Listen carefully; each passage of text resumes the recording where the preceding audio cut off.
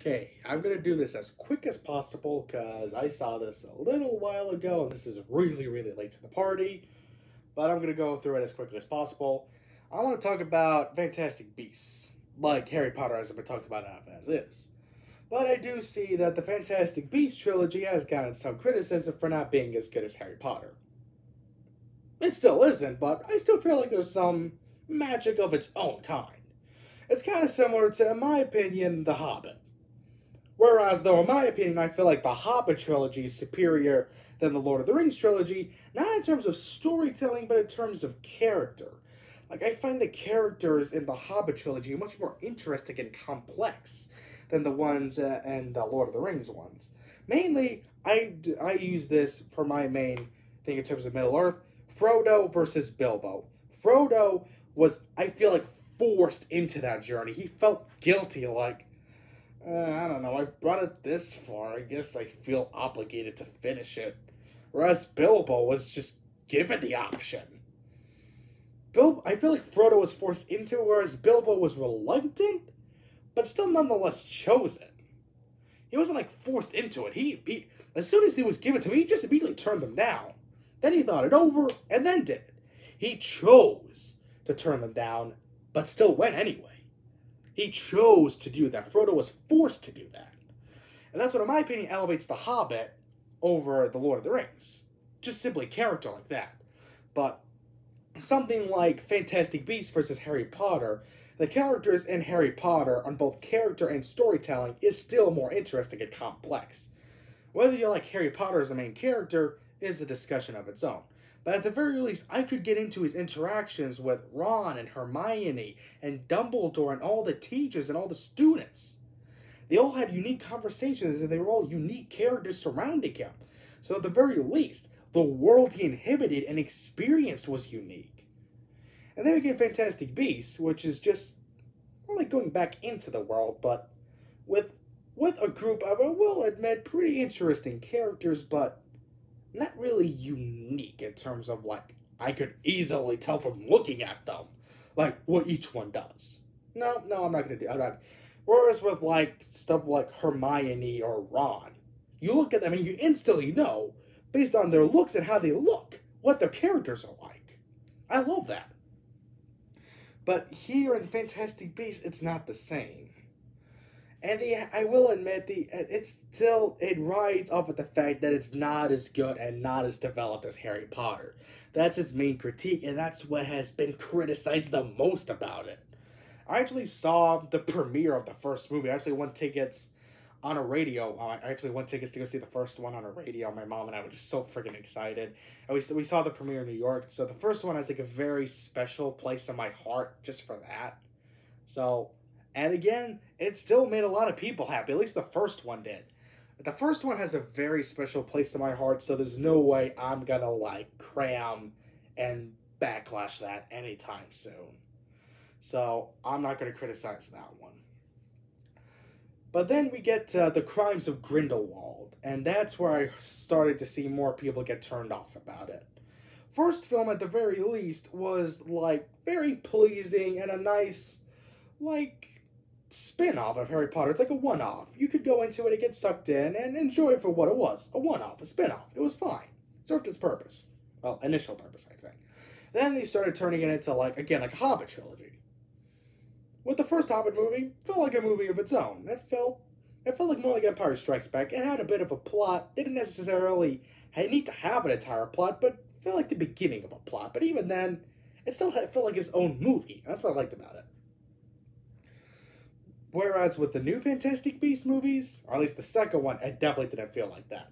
It was more along the lines of The Mummy or Amazing Spider Man 2, where they're trying to cram so much information in your face and set up the other sequels that they kind of forget to focus on the main plot as is. And if anything, I will I will admit I still like Crimes of Grindelwald. My main complaint, if anything, is for a movie essentially about Grindelwald and Dumbledore, they're not necessarily in it as much as I would like them to be. If anything, that's what got sucked me in too, because Jude Law was casted as a younger Dumbledore for that movie. That's what got me sucked into that one. And I will admit, it was disappointing also to see Johnny Depp leave the stage as um, Gellert Grindelwald for that sequel for uh, Unset Trial. I will not mention. But I will, but I will admit, I was sad. But hearing Mads Mikkelsen, I will admit that was a pretty interesting choice. So I was curious to see where they would take that. That was like the only real complaint of anything I can make. Like I will admit, probably I saw there was like a lot of deleted scenes too. So maybe had the better integrated scenes, like Creed, actually coming back to life and having like maybe explanations and more breathing rooms in terms of plot stuff it better explained, I feel like the movie instantly would have been better received. As is, though, my main complaint is I feel like Grindelwald and Dumbledore should have had more screen time. That's about as much as I can complain. But I feel like they did improve upon that one with the Stu one, the the Secrets of Dumbledore. And if anything, I feel like um that that's what really holds this movie together. I'll talk about the ending though, because the ending is what really sells it for me in terms of why I should go see it or why should other people go see it. But whatever. I will admit, that's what we really liked about this movie. You feel the tension and the focus primarily on Dumbledore versus Grindelwald. It's kind of like, actually, ironically enough, like Xavier versus Magneto in the original X Men trilogy. It's not a fisticuffs battle. It's more a battle, a battle of the mind, where they're actually like playing a game of chess. It's kind of cool like that. They're moving their pawns, setting the game in motion for future events, and the exciting battle that's happening, or is soon to come anyway. So I'll admit, that was pretty cool, and I like they got enough screen time to make it feel like I could feel their presence and see exactly what I wanted. If anything, that was the best part about this. That's what I really liked about it. If anything, I will say this. The visual effects, I feel like, were very mushy, like they needed to be re rendered again. I don't know if it was just maybe the projector or something, but the creatures, I will admit, the new creatures they actually added in are actually not bad. That's what, but for a movie called Fantastic Beasts, only added in like, what, three new ones? Isn't really gonna cut it. To be fair, though, the first one, I feel like the main problem was maybe having too much beasts. Though, granted, I like the battle, I like the plot, sorry, of having like the quest beat to find all the beasts and put them back. Actually, could have been a TV show, but whatever. It was fine for the first movie. Then they started not doing as much with the Beast later, but whatever. That's just another thing. That's, I guess, now considered to be um, just happening now in this trilogy, but whatever. I was just say saga because it's probably going to get a sequel at this point. Um, and uh, Eddie Redmayne returns as uh, Mr. Scamander. We also get new ones like uh, Miss Turner, I believe her character's called. She's apparently a professor at Hogwarts. I don't really think she was necessary in terms of the plot. She feels more like a replacement for Queenie and Tina. Or surprisingly not in this movie as much as I want. If anything, I feel like that's like uh, that's like my real issue is that Queenie and Tina aren't in this movie as much as I would like them to be. Granted, they do like at least Queenie has enough screen time to warrant, and at least kind of makes sense as to why she would like not really be on screen that much, but still distant from her from uh, Jacob because well she joined she started batting for the other team, so that makes sense. But Tina makes no freaking sense. Oh, she got promoted at her old job and just decided to stay there. I call bull crap on that. Like, she was willing to travel with Newt, travel with them to Grindelwald. Why would she not join them on this freaking quest? Why would Dumbledore not ask, like, the New York place? If they were even in New York anyway. They could have just grabbed her there. I don't know. That's my real main issue of anything, but that's about as much as I can complain. And people were hitting hard on this movie again. I will say this. The only real complaints I have are the effects, which I thought were really mushy, really not rendered as smoothly as like say the effects in like the previous Fantastic Beasts or even Harry Potter. Because even the effects in Harry Potter are looking much more better than in this movie. And it's still like freaking like even Chamber of Secrets I feel like has better effects than this. And that's freaking 20 years old now. Well, about to be at least for my count. Um but I will say this. I feel like the real enemy here is the editing. Say what you will about like Tina not have Tina Tina Queena not having enough screen time or like the Ezra Miller situation with Credence or not, whatever. But I will say this. The real enemy here is the editing. I feel like there was like a miscommunication in the editing room or something. Because usually some movies are either choppy, sloppy, dragged out, or too quick. Here, it's not even so sloppy or messy that it's like funny or weird. It's just, huh? Like some scenes are either too rushed or too dragged out. That's the really weird parts. Like a lot of the like just like having Tina Tina and Queen just side off as like a one line exposition thing that I call bull crap on that easily. Like I feel like some scenes could easily be extended on, and some scenes could even be trimmed down. Like the opening scene of which um, um, Dumbledore talks with Grindelwald.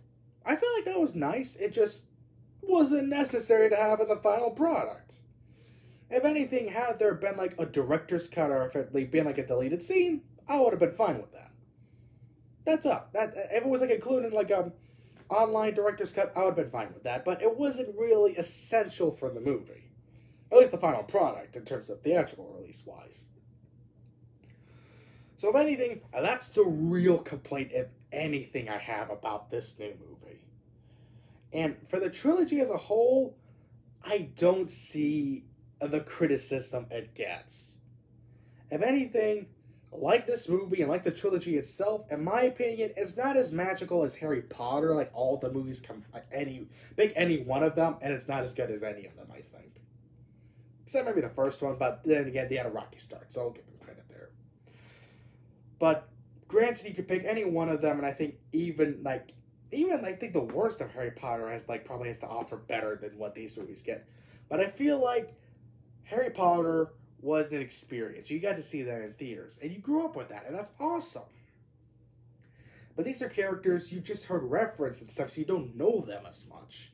And the characters you do know, I want to get uh, see explore, are the good parts about this stuff, but they're not focused on a lot, or if anything, over focused on him Anything that's I feel like the main problems here. Or if anything, I feel like in terms of future, like the in terms of like I hear there's supposed to be two more on the way. If that's the case, make Dumbledore the main character, Grindelwald still be the villain, but have it be more fisticuffs. Have like Dumbledore gone on a manhunt, lead like an expedition, and make like his own mini prelude to Order of the Phoenix and go on a manhunt to find Grindelwald.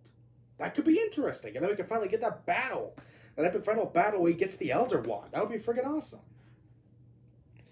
But like this move this movie i feel like it's just a perfect representation of the trilogy of fantastic beasts as a whole it's not as magical as the harry potter movies but i feel like it works with its own magic that's unique enough to warrant checking it out you get complaints here and there and if you're looking for like a nice film just to casually watch you're probably not going to enjoy this. It's it'll probably confuse you a lot. I hear that a lot with Crimes of Grindelwald.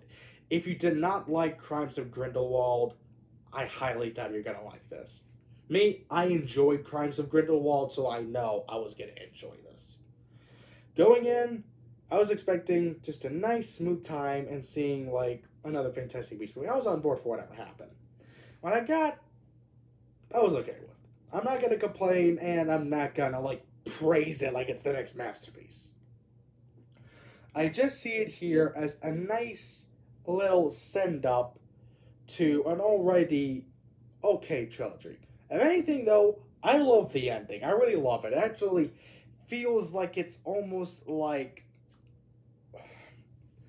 like, for example, Queenie switched sides, but then initially, somewhere down the line, in terms of like the election plot line, I don't, I didn't want to get into that stuff. That's a whole other thing. People complain about that. I'm not gonna talk about that here, though. I will admit, though, I really like the ending. Just the fact that Queenie and Jacob actually get married, and essentially, in my opinion, start, in my opinion, a pretty pivotal thing.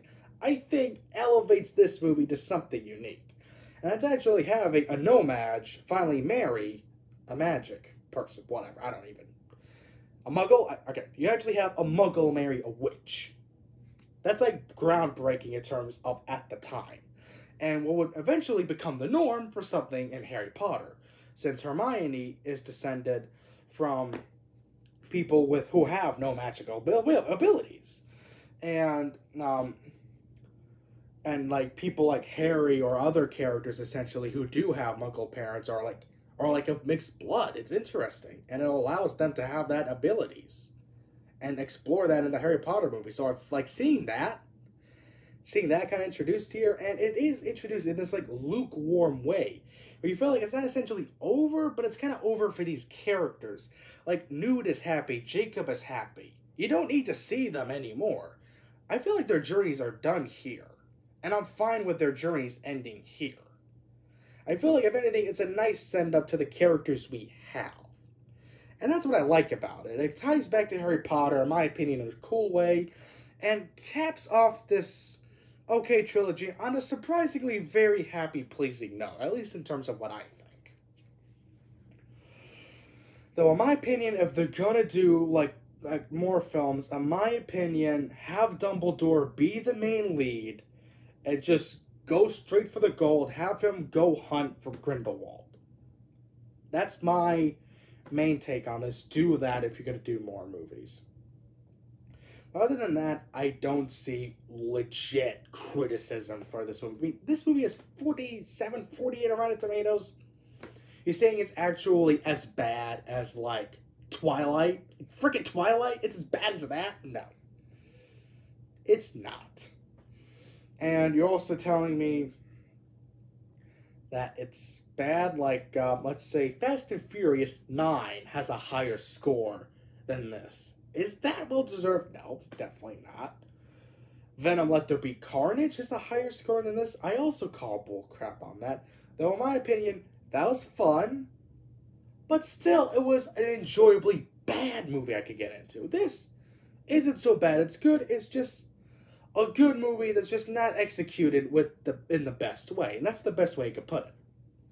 So, what I would give it, I'm gonna give it four out of five, and I'll essentially give that to the whole trilogy as a whole.